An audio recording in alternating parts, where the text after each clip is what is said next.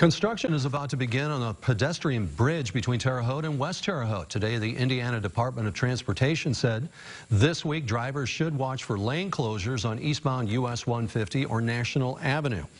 It's so crews can relocate utilities. The pedestrian bridge will be just over one mile in length. It will have 10 feet for walking and biking. There will also be uh, overhead lighting and have an overlook area near the halfway point. That's so people can enjoy the view over the Wabashiki Fish and Wildlife Area. The project is scheduled to be completed in October of next year.